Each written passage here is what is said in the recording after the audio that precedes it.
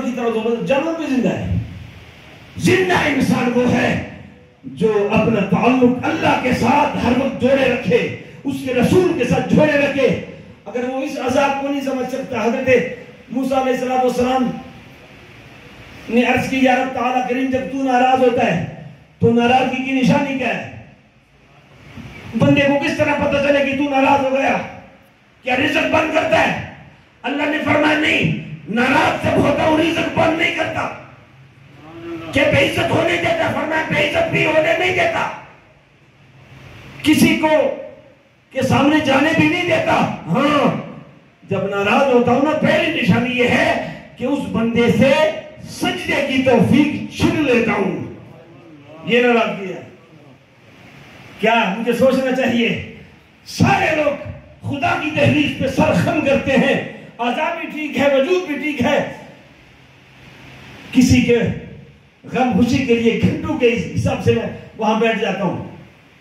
انتظار کرتا ہوں۔ کبھی فتوا نہیں لگاتا۔ چیلن میں جاتا ہوں فتوا نہیں لگاتا۔ ولیموں میں جاتا ہوں فتوا نہیں لگاتا۔ مگر میرے پاس ٹائم اگر نہیں ہے، تو مسجد میں جانے کے لیے نہیں ہے۔ اگر میرے پاس ٹائم نہیں ہے، ایک برادری کا بلاوا جب آتا سارے معاملہ چھوڑ جاتا ہوں۔ مگر جس گھر سے پانچ وقت بلاوا آتا ہے آجا اگر کسی نے تقدیر کو بدلنا ہے آجا اگر کسی نے اپنے مزاج کو بدلنا ہے آجا اگر کسی نے اپنے اوپر اپنا اللہ کا فضل برسوانا ہے، آ جائے۔ اللہ کی رحمتوں کے دروازے کھلے ہیں آجا آپ نے فرمایا کہ میں آپ کے پاس آیا ہوں، مجھے میرے برائے مہربانی، مجھے بتا دو، میرا دل دن بدن سخت ہو رہا ہے۔ طریقہ بتاؤ۔ بس یہ میری گزارش ہے، یہی درد لے کر آئے ہوں۔ دعا کرو خدا، ہمیں بھی یہ درد آ جائے۔ ہم بھی اس کوج میں لگ جائیں کہ دل دن بدن سخت ہو رہا ہے۔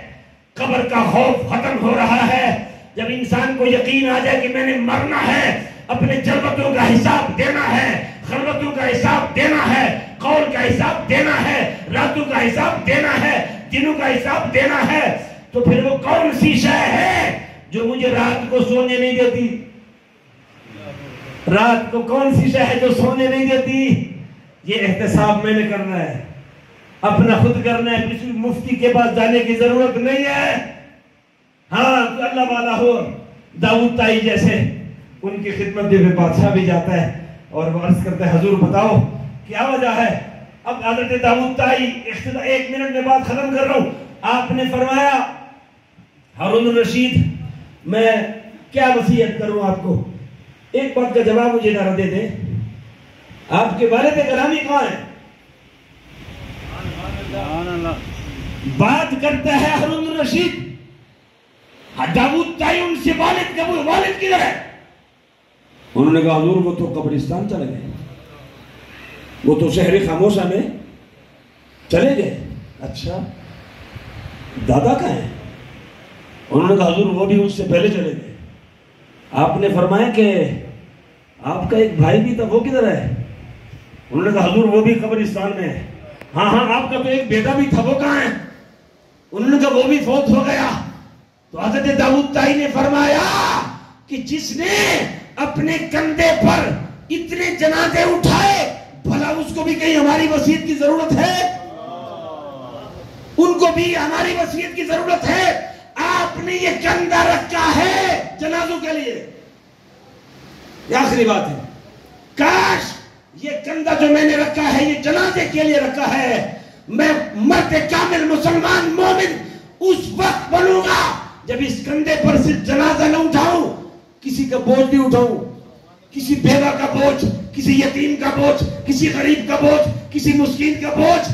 ہم نے اس کندھو کو وقت کیا ہے جنازے کے لیے۔